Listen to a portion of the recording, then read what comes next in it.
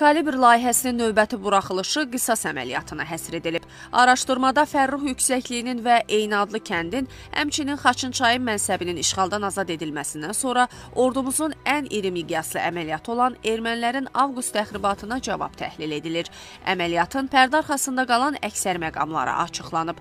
Belə ki, Azərbaycan ordusu çətin relyefdə yerləşən Ağdaban və Çayqovşan kəndlərini keçib, dağlıq yolları kilometrlərlə piyada qalxaraq buzluq strateji yüksək yüksəkliyində yerləşən separatçıların və qanunsuz silahlı birləşmələrin bütün kommunikasiyasını bağlayıblar.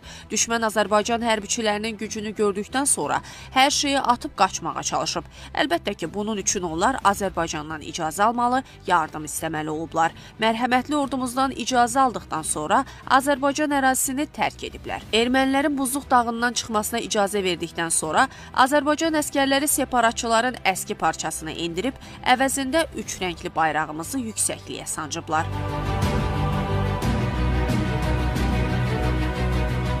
Ümumiyyətlə, Azərbaycan Silahlı Qüvvələri bu strateji yüksəkliyə nəzarəti təmin etməklə nə əldə etdi? Əvvəla, ərazi Sərsəng su anbarına çox yaxındır. Həmçinin gördüyünüz təpələrin arxasında yerləşən İmarət Qərvənd, Çapar, Çayrəkdar, tarixi Ağdaban və Çayqovşan kəndlərinə nəzarət təmin edilib. Üstəlik, mühüm tədarük yollarına tam nəzarət edilir ki, bu da qışda həmin istiqamətdə qeyri-qanuni hərbi birləşmələrin yerləşdirilməsini mümkünsüz edir. Bundan əlavə, ordumuz Qarabağ iqtisadi zonası ətrafında nəzarətimizdən kənar ərazilərdə strateji yüksəkliklərin halqasını bağlamağa da nail olub.